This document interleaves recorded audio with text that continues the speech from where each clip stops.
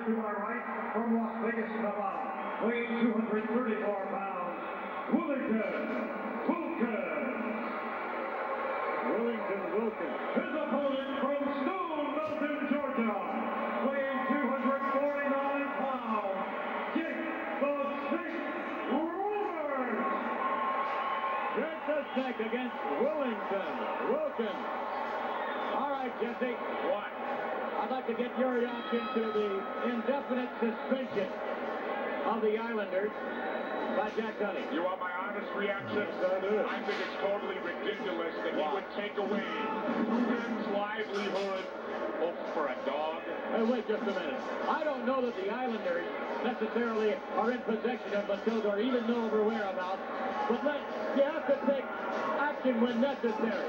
They carried Matilda out of the ring some weeks ago. Therefore, they're responsible for whatever condition, for wherever Matilda is. They're responsible, Jesse. Well, They, actions like that have to be taken. What do you think? Maybe if they bought him a new dog, that'd make it okay? Get serious. Absolutely not. That's absurd. Matilda is a very, very special dog indeed. And you know what? Maybe, maybe a nice little poodle or a cocker spaniel or something. No, no, no. They're not going to get away with just that. No way. No sirree. I just can't believe you would take away their livelihood over this dog. You know, how I have a feeling, Bruno, that Matilda is going to reappear very soon. I think so too, and I'll tell you what, I wish that Jack Tunney would have not only suspended indefinitely, put a little stiff fine in there too, and I think that we'll see Matilda real quick, and I think we will anyway, because those two, they do not want to deprive themselves of probably an opportunity for a title match. How do you know so much? Do you know where she's at? Jake the Snake Roberts having a pretty easy time with Willington Wilkins at the moment. A at Jake the Snake on the cover of the upcoming issue, the new edition of the World Wrestling Federation magazine. There's a look at Jake the Snake and Damien on the cover of the magazine. Oh, oh, oh!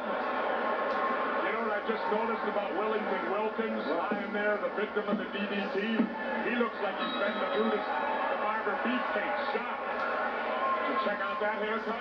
A little different. Looks like beefcake all the way. Uh-oh, uh-oh. Yeah. I wish somebody'd run off with this snake. You do, huh? Ah. Oh, my God. Look at that. Damien all over Willington Wilkins. Oh, my goodness. Let's go back to the replay and take another look at that DDT. Well, Wellington was, I think you, was up for this in this match. So many opponents have found his over Wellington, and here he comes with a devastating DDT, there he is down for the count, and believe me, you could count to 100 on this one. Indeed you can. Here's more on upcoming World Wrestling Federation events.